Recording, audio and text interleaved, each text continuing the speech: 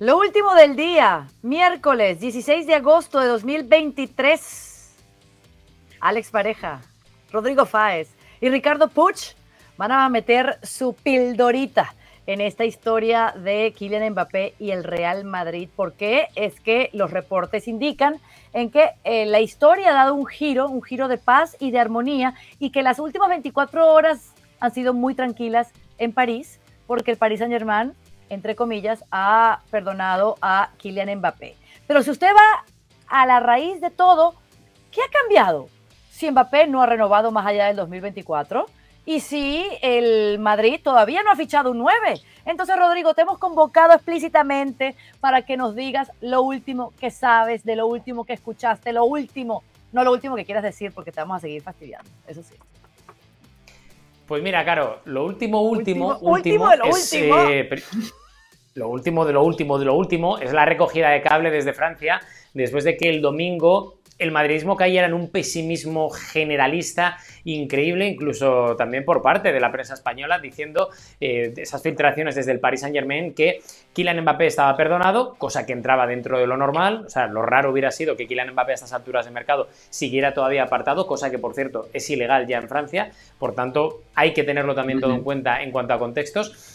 Y a partir de lo que pasó el sábado en ese partido eh, contra el Logian, el perdón, la vuelta a la normalidad, se empezó a decir desde Francia que Kylian Mbappé iba a hacer una nueva ronda de contactos con el Paris Saint-Germain. Nunca se han detenido las conversaciones entre las dos partes, tampoco es nada nuevo, pero, pero desde Francia se dijo que ahora sí que se veía con optimismo la opción de una renovación por el Paris Saint-Germain, cosa que desde algún medio incluso de Francia se daba por hecha. ¿Qué pasa?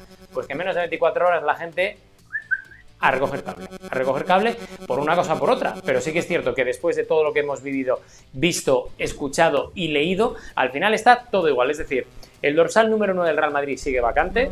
A pesar de que en Madrid mucha gente sigue diciendo que el mercado del Real Madrid está cerrado, yo no me lo creo.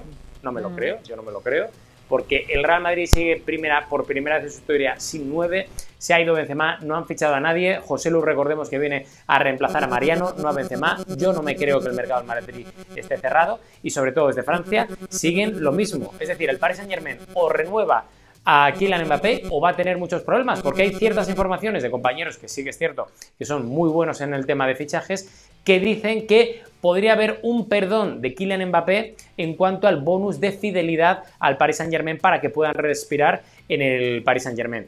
Yo tampoco me lo creo, ¿eh? Y respetando las informaciones ajenas, tampoco me lo creo porque si algo se ha dicho durante todo el verano, nos ha llegado, se ha informado, es que Kylian Mbappé y su entorno no quieren perdonar ni un euro. O como mínimo, si perdonan, es poner algo de su parte para llegar a una solución. Pero nunca la totalidad del bonus porque es algo que está firmado y es algo que ellos quieren ganar. Por tanto, estamos a 16, miércoles 16 de agosto, quedan 15 días para el término del mercado de fichajes y sigue todo igual. Según L'Equipe, el, eh, eh, eh, este diario publicaba unas declaraciones del presidente del club Life diciendo que Kylian está de vuelta y volcado en su club.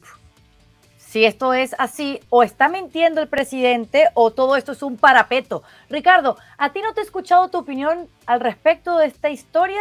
desde hace mucho tiempo, así que quiero saber si ha cambiado, cuál es, qué, sensación tienes al respecto.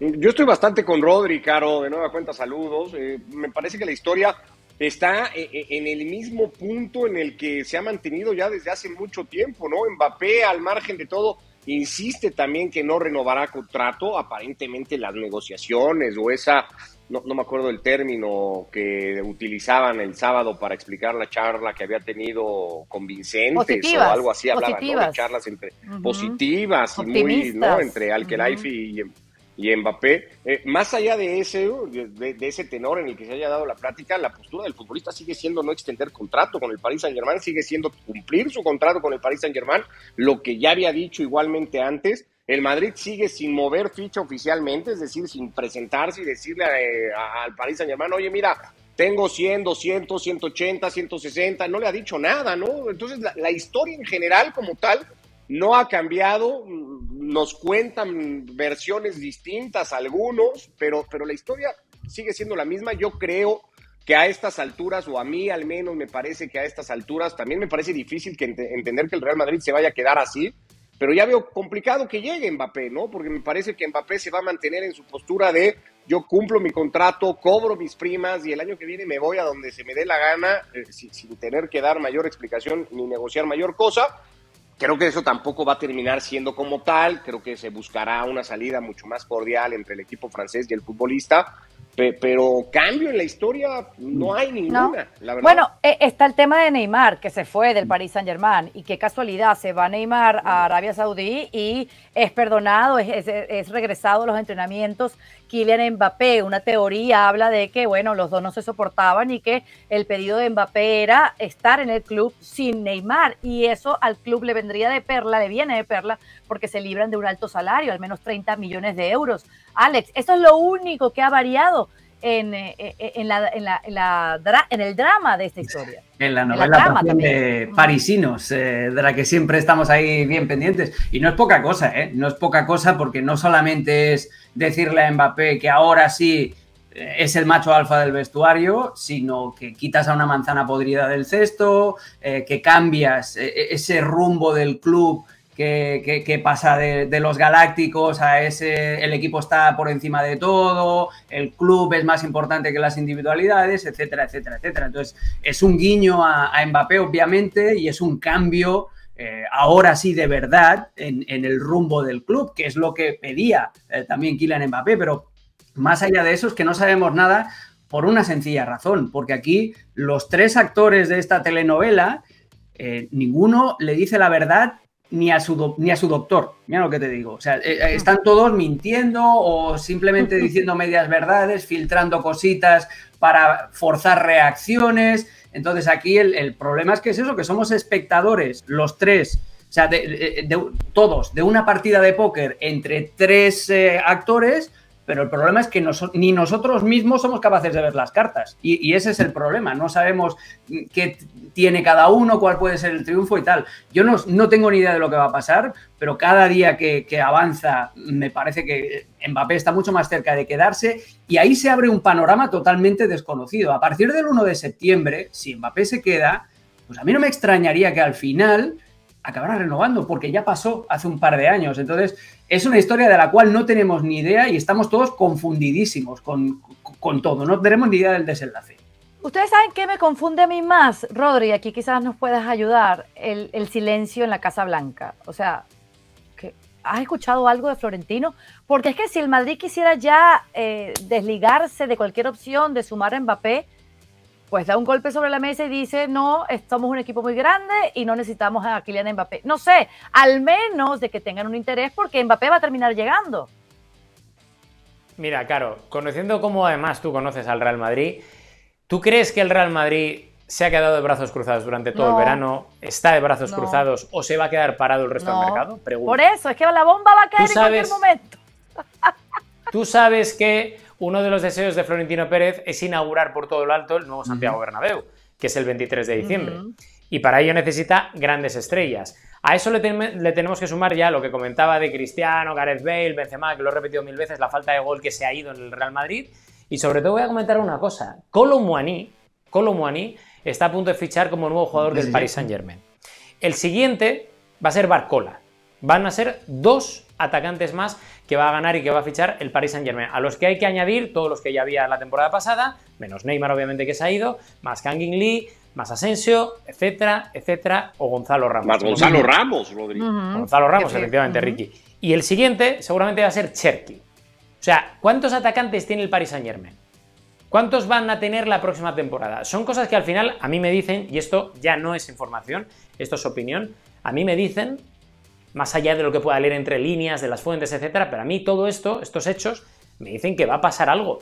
No sé si se va a quedar, si lo va a fichar el Real Madrid, pero que hay algún movimiento que para mí se va a producir de aquí al final del mercado, yo estoy seguro. Claro.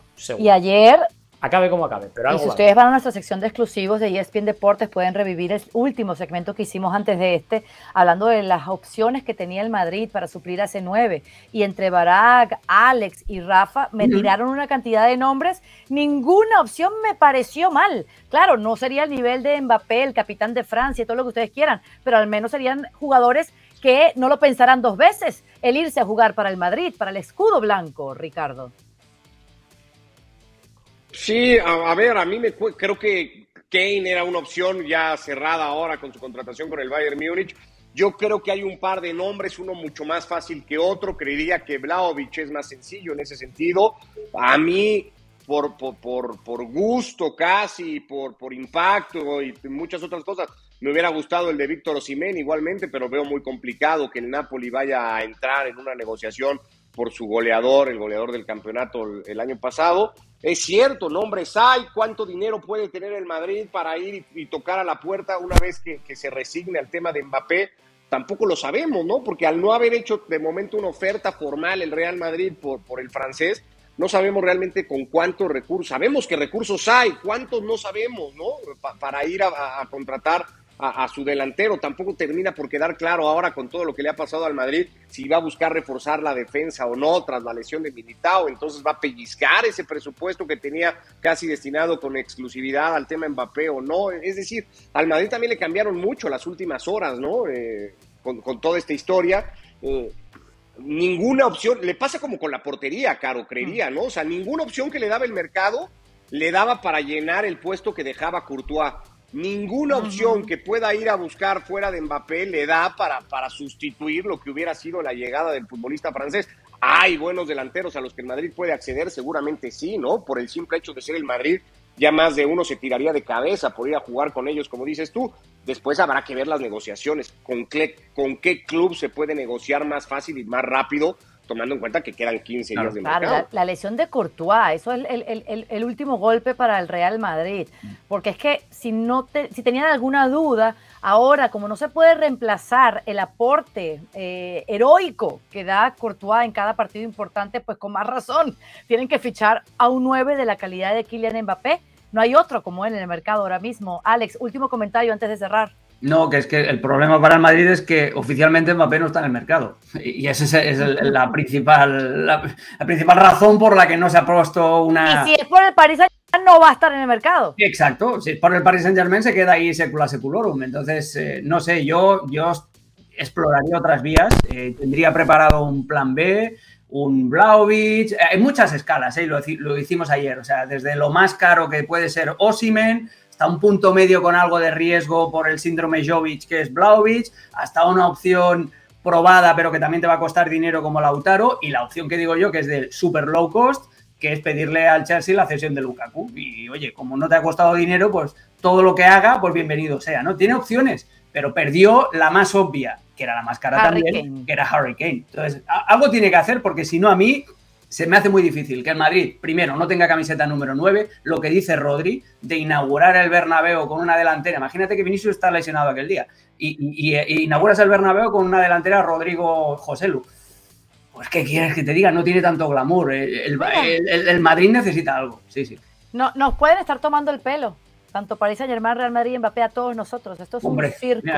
me, voy a peinar con un croissant al final de esta novela, mira lo que te digo. Ya sé por qué te estás dejando el cabello largo. Cada vez lo tienes más largo, Alex. Ya lo entiendo. Ah, Rodri, 31 de agosto es la fecha límite, ¿no? De ahí, a, partir de allí ya no te pregunto más por Mbappé, ¿cierto? No, no, a ver, quiero decir, tú ten en cuenta una cosa, Caro. Si lo ficha el Real Madrid, me vais a seguir preguntando por Mbappé a partir del 1 de septiembre. Y si no lo ficha, también. Por bueno, no pasa nada. Eres nuestro. Yo no estoy, yo, a mí preguntadme lo que queráis, que estamos aquí para, eso te paga. para eso te paga y es bien. Gracias. Hombre. Ande, Twin.